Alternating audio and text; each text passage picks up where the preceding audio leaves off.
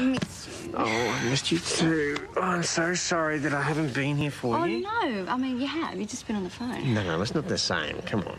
Have you heard from Erin since she took off last night? No, no. But, I mean, her reaction, it was completely understandable. There's, there's so much riding on her forming this relationship with Kat, so... Yeah, that's no excuse for abusing you. Well, no, no. It's she. She had a moment, but she's doing really well. She's um, well, she's in the program, and Karl's really helping her. So. Hello. Hello. Hey,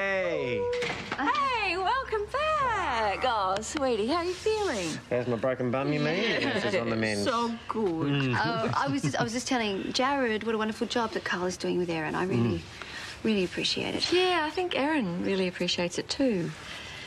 She uh, she dropped by the house quite late last night. Well, how late? Well, it was uh, almost midnight, and she stayed for more than an hour. Whoa, that's inappropriate. I mean, she wasn't rude or anything like that. It just felt as though she'd overstepped the mark a bit. Uh, yeah, I'm so sorry. I'll, I'll talk to her.